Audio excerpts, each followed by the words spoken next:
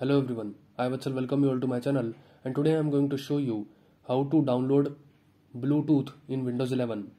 So what you have to do is just go to the browser. And now in the search bar just type download Bluetooth driver for Windows 11.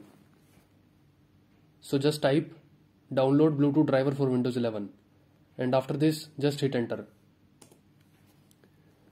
Now just click on the first link Intel wireless Bluetooth for Windows 10 and Windows 11. Now go down and now click on this download button. Just make sure that it is Windows 11 written here. So just click on download button. Now click on this button. I accept the terms in the license agreement. So it is downloaded. Let me just paste it on the desktop.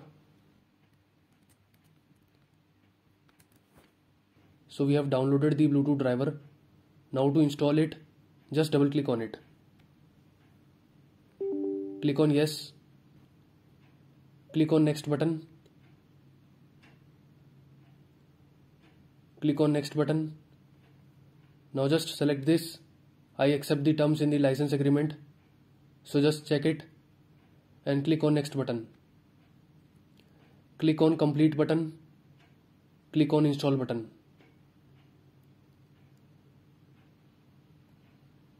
Click on finish button. Now just restart your system. And after restarting your system the Bluetooth will be installed in your system and you will be able to send or receive Bluetooth files.